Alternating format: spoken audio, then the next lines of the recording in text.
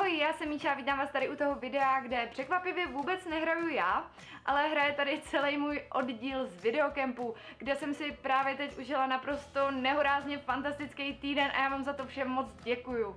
Pro představu, můj oddíl se skládal z dětí od 9 do 15 let a téma, které bylo zadané pro všechny videokempáky, bylo groteska. I když se mi zdálo teda naprosto mega těžký a vážně jsem se bála, že to nějakým způsobem nezvládneme, tak jsme se s tím maximálně porvali a vy se teď můžete podívat, jak to dopadlo. Hezky se bavte.